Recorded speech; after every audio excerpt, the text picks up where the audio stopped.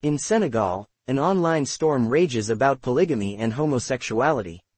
By Moise Manoël-Florisse May 16, 2024. Commentary about Senegal's new president stirred up a homophobic hornet's nest. Polygamy. Senegal's President Bassirou Diomaye Faye center, is flanked by his two wives, Absa Faye left and Marie Khone Faye right last month's commentary by Clair Rivière in the online French investigative publication Mediapart described Bassirou Diomaye Faye, Senegal's new president, as seeking a gentle break from the nation's colonial past. That wasn't controversial, neither were the various comments, pro and con, that Rivière reported from his interviews with activists and academics in Senegal. His article was balanced journalism, but it was published behind a paywall so it did not reach many readers. Instead, people tended to read just two introductory sentences, which stated that Faye's party intends to challenge the neo-colonial status quo. But its ambiguity on the place of women and homosexuals raises questions. Senegalese commentators rushed to defend the nation's acceptance of polygamy and its rejection of homosexuality. Some claim that Senegalese tradition is the only justification that's needed for both homophobia and polygamy. On X Twitter, people tweeted. In Senegal, we're homophobes. We don't hide it. Polygamy is part of life in Africa so it is rather a good thing that the Senegalese president appears with his two wives. As for homosexuality, we must stop believing that this will happen in many African countries. You're wasting your breath. It's better to have two women as wives than to have one man as a wife. Know that our civilization accepts two wives. You are not the center of the world. Ah, France, which finds it normal for two men to mate but a man cannot have several wives. So condescending. Prepare to be an underdeveloped country. Your cash cow, Africa, is kicking you out. The controversy demonstrates how far apart France and Senegal are in their attitudes about marriage. Many people in France support marriage equality and believe that polygamy destroys women's rights. In contrast, many people in Senegal believe that polygamy poses no danger to women's rights and that gay marriage is repulsive. A group of women in rural West Africa participate in a traditional ceremony to celebrate a polygamist marriage. Fatuma Kamar photo courtesy of IPS, a group of women in rural West Africa participate in a traditional ceremony to celebrate a polygamist marriage. Fatuma Kamar photo courtesy of IPS, but not everyone in Senegal shares those beliefs. A 2012 Inter-Press Service article makes that point with the headline, Polygamy Throttles Women in Senegal. Polygamy is a form of modern slavery, a Senegalese women's rights advocate was quoted as saying. Women involved in this form of marriage have no voice and no channels to complain.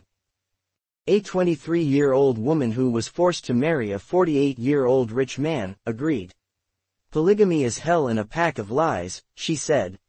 Senegal ranks at number 104 out of 146 nations in terms of women's economic participation and opportunity, educational attainment, political empowerment, and health and survival, as measured in the Global Gender Gap Index of the World Economic Forum. For erasing 76 crimes, Senegalese human rights activist Sadio Depay des Islets pseudonym analyzed the controversy.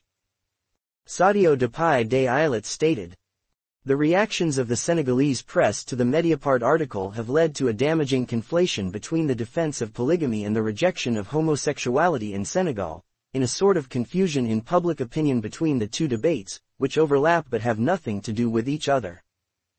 Polygamy does not necessarily represent a prevalent threat to women's freedom, insofar as it is a minority patriarchal practice affecting only one-third of Senegalese households. In 2018, only 35.8% households were polygamous, according to Senegal's Agence Nationale de la Statistique et de la Démographie. What's more, it is far from being a systematic requirement for women to take an older man as their husband. Without denying that there may be cases where women are forced into polygamy against their will, which remains unacceptable, it would be totally caricatural to see it as a norm. In 2020, religious police in Touba, Senegal, displayed illegal items they seized in a crackdown on objects and activities that are illegal in the holy city. Items on display include a pile of footballs, lower left, and an array of dresses on mannequins, upper left. They also arrested 10 gay residents of the city. Image from a video by Seneweb TV on YouTube, in this sense, I find that there is a feminist and slightly racist bias in seeing the bigamy of Senegal's new president, Bassirou Diomaye Faye, as oppression of women, insofar as his two wives consent to this union, with free will and in an enlightened manner. The same is true of the Islamic veil in public spaces in France, where some feminists see it as a sign of loss of freedom for women and a symbol of submission to patriarchy, while others claim the freedom to wear it. As a human rights defender, my position is unambiguous. I will always be on the side of freedom and against any form of diktat, especially when it comes from abroad or internationally. On the other hand, the situation faced by LGBT plus people in Senegal has nothing to do with the polygamy debate.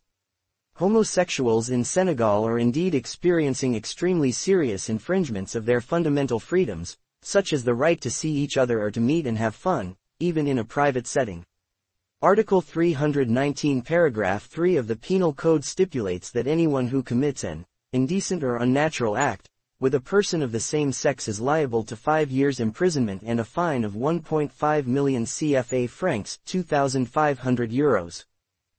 Finally, we note that homophobia and the rejection of feminism are deliberately exploited by some to express anti-French sentiment in response to a simple press correspondent simply transcribing the words and phrases of his local interviewees.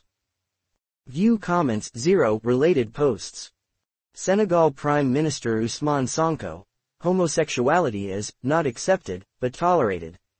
Sylvain Cherkaoui photo courtesy of AP, Senegal arrests Islamic agitators for claiming Prime Minister is gay. Shortages of doctors and drugs bedevil LGBT plus Haitians, and everyone else Constant Mutamba Tungunga is a lawyer at the Kinshasa bar and mining agent at Constant Mutamba Sur X. Congo lawmaker wants jail, not slavery, for LGBT people. Help for LGBT youths in Benin, where anti-gay lynchings are commonplace. Congo to consider new anti-gay bill. Bassirou Diomaye Faye this week, after his election. Photo courtesy of X Twitter, what does Senegal's new president have in store for LGBTQ people?